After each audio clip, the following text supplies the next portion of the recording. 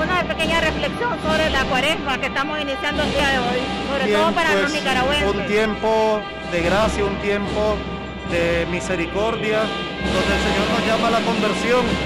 Pienso que es un momento propicio para abrazar el amor de Dios, vivirlo en nuestra vida, en nuestro entorno, en nuestra sociedad, para procurar cambiar, ¿verdad?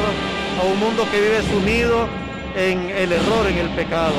Volver a Dios, ese es el propósito de esta cuaresma, que podamos volver a Él. Que Dios les bendiga a todos.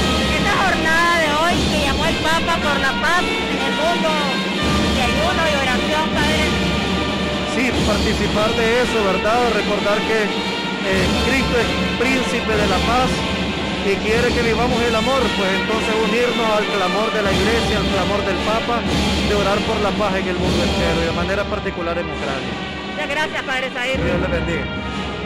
Dios le bendiga.